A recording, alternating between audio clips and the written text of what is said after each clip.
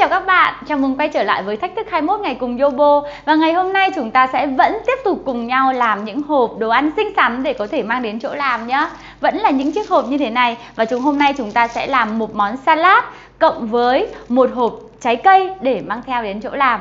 Hôm nay được đến với món salad thì Anna xin giới thiệu với bạn à, một loại à, chiếc máy này. Và đây là một chiếc máy mà khi mà bạn sợt máy là Oso máy ờ, thái rau củ Oso bạn có thể mua được trên internet. Anna cũng dùng cách đó và mua được ờ, máy thái rau củ Oso này. Và một lát nữa bạn sẽ thấy rằng là nó có thể thái dưa leo này có thể thái bí ngòi này thành những ờ, dạng mì thành dạng sợi cực kỳ đẹp luôn. Đặc biệt nó cũng có thể thái lát uh, của như là thái thái một số cái loại mình muốn thái lát. Ví dụ như là um, cà rốt mình cũng có thể thái lát thành những cái lát uh, mỏng và rất là đều nhau. Mình không cần mất nhiều thời gian để thái nữa cả đúng không? Một lát nữa bạn uh, sẽ à, được à, nhìn cả cái cách mà chúng ta sử dụng cái này để bình thái những à, loại rau củ quả cho ngày hôm nay nhé và nguyên liệu mà hôm nay chúng ta sử dụng để làm món salad đó là hai nguyên liệu cơ bản gồm có dưa leo và cà rốt cung cấp đủ lượng nước cho chúng ta này hỗ trợ quá trình tiêu hóa cho chúng ta đặc biệt cực kỳ tốt trong cái quá trình mà chúng ta đang muốn detox thanh lọc cơ thể. Um, và cà rốt thì đương nhiên rồi có rất nhiều vitamin A và có rất nhiều beta carotenoid vậy thì chúng ta sẽ cùng nhau đến với à, món salad này nhé À, với loại nước sốt của món salad này bạn cũng có hai sự lựa chọn. Lựa chọn đầu tiên bạn có thể chọn nước sốt mè rang rất là nhanh có bán ở trong tất cả các siêu thị. Và lựa chọn thứ hai bạn sẽ sử dụng nước sốt mà Yobo hướng dẫn bạn. Nếu bạn muốn biết cách làm nước sốt thì bạn có thể tìm những cái video à, trong đó chúng tôi có hướng dẫn rất chi tiết nhiều loại nước sốt khác nhau để bạn có thể lựa chọn cho món salad của mình. Đối với Anna thì hôm nay Anna vẫn tiếp tục sử dụng à, loại nước sốt làm à, từ hạt điều này, à, hạt à, hem này à, và hạt mè cho chúng ta. Nào chúng ta bắt đầu đến với món salad của chúng ta nhé.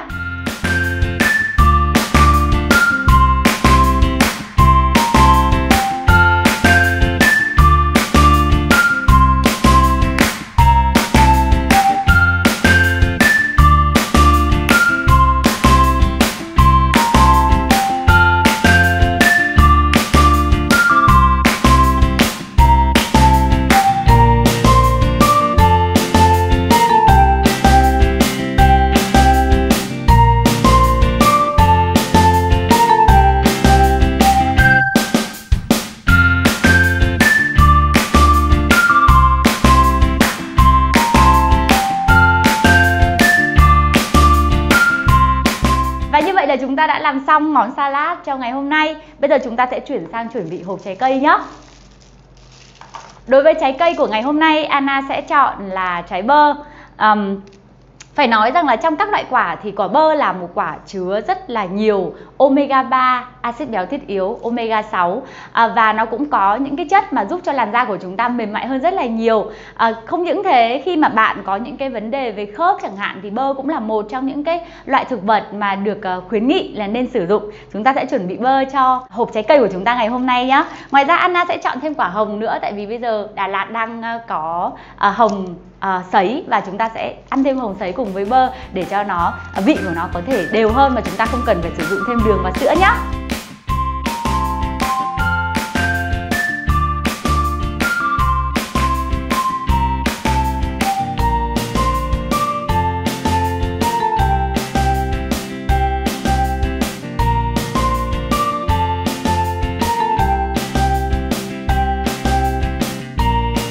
Và như vậy là chúng ta đã xong à, công thức của ngày hôm nay. Nếu bạn thích video này xin hãy like video và nhớ đăng ký kênh youtube của chúng tôi tham gia thách thức 21 ngày.